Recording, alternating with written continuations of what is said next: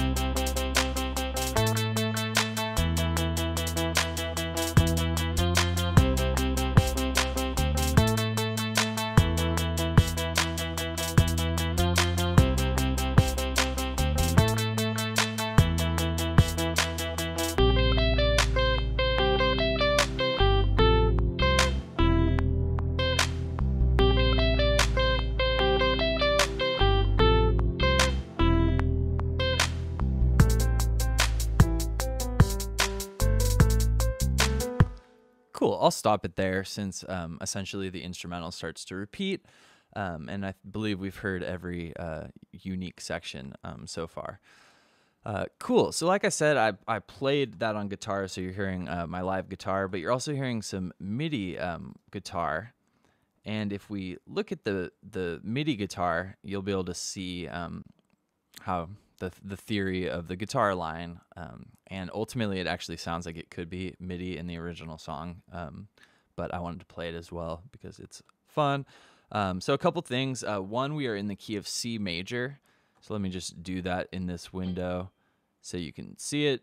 C major is going to have all of these white keys on our keyboard or our piano roll if you're looking at only a computer screen.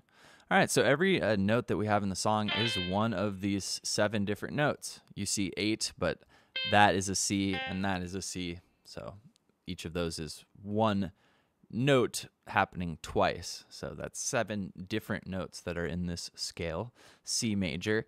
And again, um, like every other scale in music and chords, we skip scale tones to create the chord. So there's a one chord. And then the other chord we're going to have in the song is a four chord. That's an F major chord. Notes in that are F, A, and C. Cool. Um, so that's our theory. Um, now we basically we the first three notes. If we solo this strat, we're, we're going to E, F, C, and then A, E, F, C, and then it sort of repeats. Um, I guess this is the phrase that repeats. Um,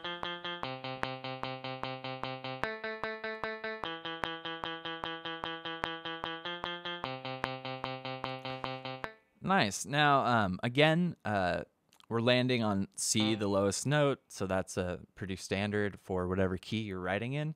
Uh, when you write a melody or a line, the lowest note or the note you resolve to or use the most is usually the tonic, which is a fancy way of saying the the the one or the main note of whatever key we're in. So if I'm an A major, that would be an A. If I'm an F sharp uh, mixolydian, that would be an F sharp. Uh, cool. One piece of inf- interesting information is that uh, we're in 4 4, we're at 150 beats per minute. Um, but, and we're playing eighth notes, so it's not a triplet, but the notes are in groups of three. So that creates kind of a cool uh, rotation of where the notes are happening, especially later in the song when we get the drums as well. Um, so that's just an important note. Uh, and then uh, the second time or the second measure or second phrase, the third measure, where we go A back to E, we get six A's. So that's like this three and three together, six. So we, we could say that this is a parallel phrase. If we took these rhythms and moved them over, we'd actually see that they completely line up, all right? So that's what we mean by a parallel phrase. That is a rhythmic phrase, which is an idea or something we use, a word we use in melody writing. Um, so yeah, that's what's happening with the guitar. We hear the same line down an octave.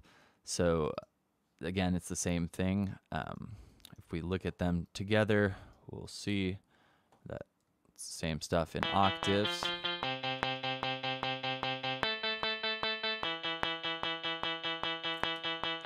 Cool. So that takes care of the first part, which is also like one of the main parts of the hook later in the beat. Um, then we get our bass.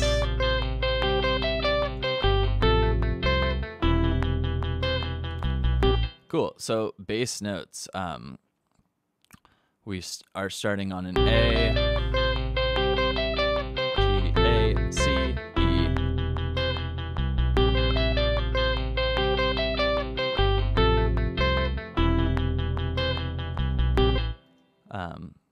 cool. So what's kind of interesting about the bass, uh, starting on an A, A is going to be like A minor is a relative minor, so that note uh, has a special importance to the key. Let's go ahead and look at um, this guitar melody. So the notes are G, C, E, back to C again, G, C, E.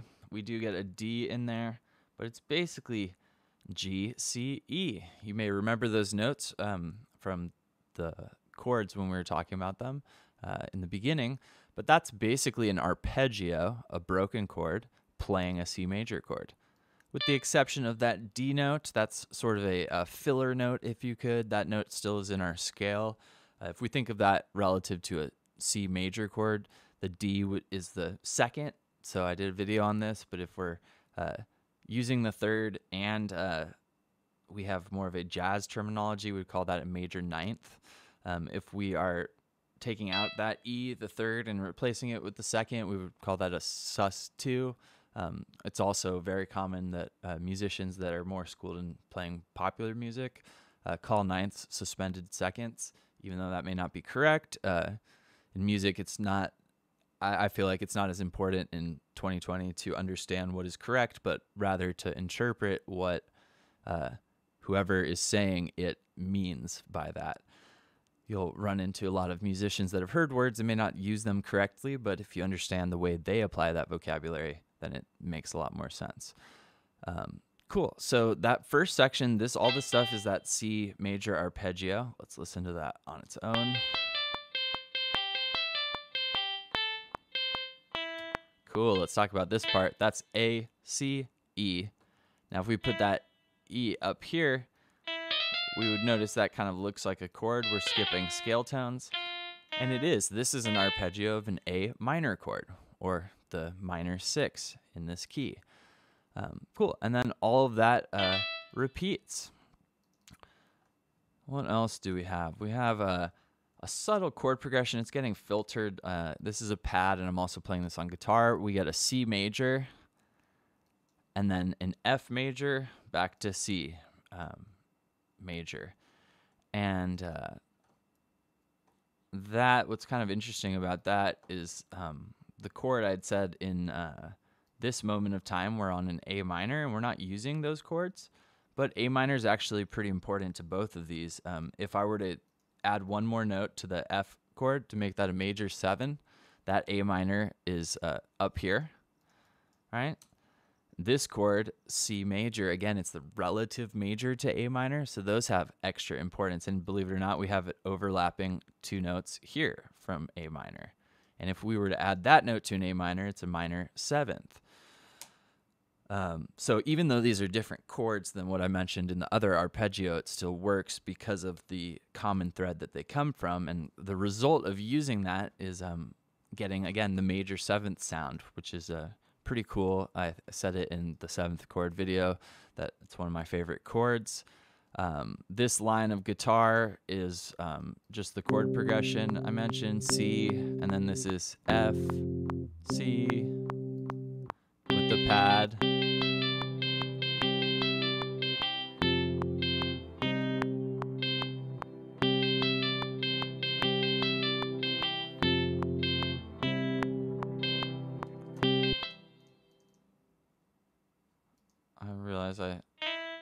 Don't know if you heard that too, but there was a wrong note. That's from when I was sliding that around to show you the A minor chord. Um, cool. So, what else do we have? The next uh, main thing to talk about, well, one, our drums. After all, this is in the hip hop vein. Um, and drums are uh, and bass are some of the more important instruments to that. Um, so what's going on here? We're in half time. Um, that means that our snare is happening on every beat three. Cool. Then we have some syncopation. Remember that means when we take a kick drum, which is first on the downbeat, and then we start accenting beats that are not the specific downbeat. Uh, that creates a cool um, sort of push and pull, and uh, is in almost every hip hop song that you hear, and a really cool um, thing that makes people want to dance. Everything else, uh, we have basically the eighth notes going. We have some sixteenths that are filled in. Let's hear the drums on their own.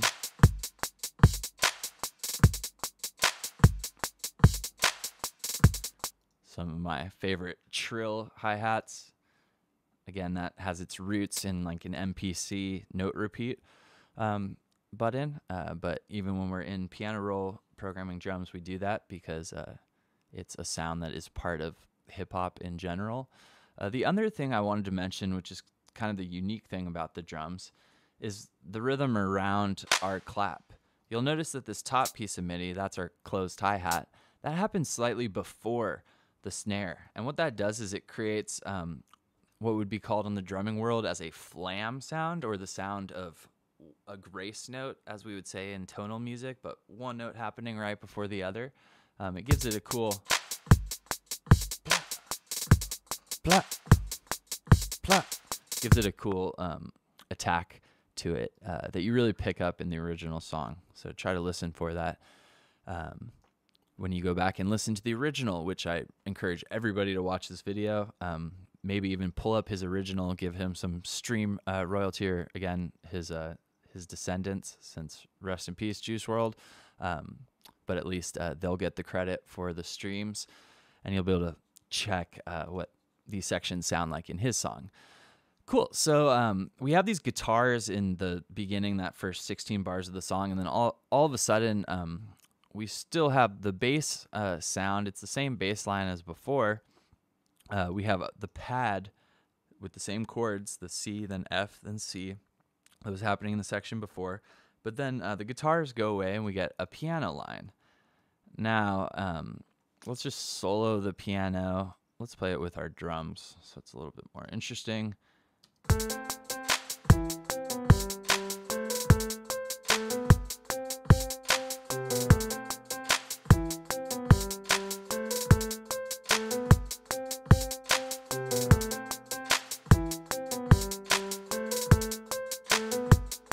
All right, cool. Uh, so again, uh, every note that you see, I don't see a single black key in this. So again, we're in the key of C major um, or if you want to think about it as a, as it relates relative to A minor, if you're more comfortable with minor keys.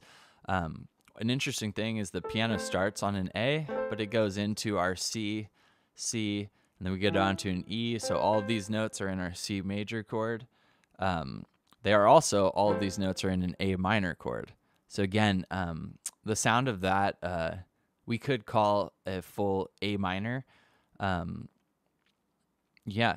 Uh, so again, like I showed you, A minor seventh has a C major in it. So A minor and C major are very, very uh, similar harmonies or overlapping. The difference would be that that minor third is more important in the um, A minor chord. Um, so like an A minor.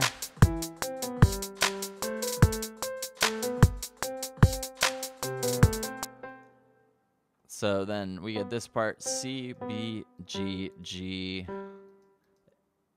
A, C, E. So since we get more of the C and G than an A, we're probably going like A minor, C major. Um, but again, uh, this is just kind of a pretty cool arpeggio um, influenced like chord comping, as I would probably describe this. We go back to what would be like the A minor, right? So A minor, C, A minor, back to C. Interesting thing about saying those chords is again we have that that pad that's playing the C and F. Um, so yeah, it might just be an A minor seventh that we want to call that in the beginning. Um, but anyway, those are the notes. That's where they come from. Um, anything else that I want to say about it? Uh, we could say that this uh, that half step walking is obviously a motif in this uh, in this playing. Um, we get it from CB, um, CB, CBO. We get all the same. I was thinking we were going to get an FE. Perhaps we do later in the song.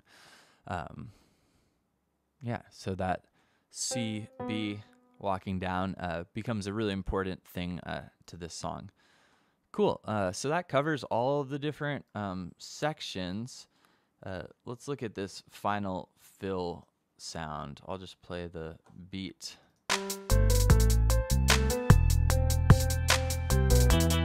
the notes there um, are A, G. Now, uh, I'll talk about a lot more of this in another video I plan on doing, which is going to be about uh, customizing presets in Logic's Sculpture to fit your own sound design uh, desires. Uh, what I, you can see from down here, this is a pitch bend uh, automation line. You can access that in Logic by hitting that button and then scrolling for pitch bend. Um, but we'll have to modify sculpture for that uh, to work the way uh, that you're hearing it. But again, uh, I will do a video um, where we do that. It's pretty fun building that sound. Uh, yeah, then we basically go back into what was the intro, but it's twice as long. And then our second section. Now he's singing the words wishing well over a decent amount of that. Uh, so I would kind of all call that the, um, I would really call this like the hook, maybe the the pre-chorus verse, so verse pre-chorus hook, or you could call it like verse chorus, uh, post-chorus, verse chorus, however you want to describe it. Basically, it goes section one, section two, section three, section one, section two, section three, and it keeps repeating that pattern even though section one becomes extended. Um, so yeah, I hope this was a helpful um, look at some music theory um, as it pertains to popular song.